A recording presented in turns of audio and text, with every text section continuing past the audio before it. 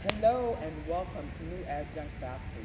My name is Joyce Delores Taylor. I'm a lecturer in the social and cultural sciences.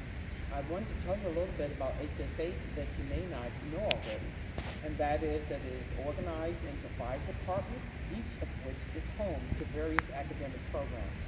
HSH departments include clinical, health and applied sciences, communication and studio arts, liberal arts, psychology, and social and cultural sciences, department that I'm a part of. Each department has a chair who is a member of the faculty and a secretary.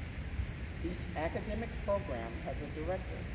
This person is usually your best first point of contact for questions about your classes, your students and their expectations, and the day-to-day operations of the program.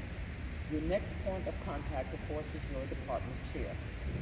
For a list of departments with chairs, secretaries, and for a list of programs and directors, please see the link below this video.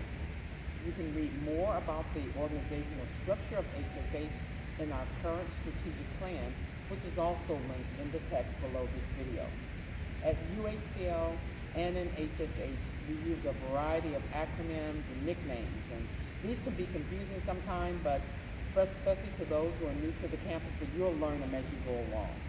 For a list of commonly used acronyms and nicknames, again, please see the link below.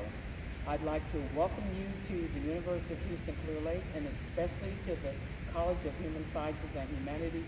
You will enjoy it as much as I have. I love being a part. Phenomenal number one college on the campus. Thank you.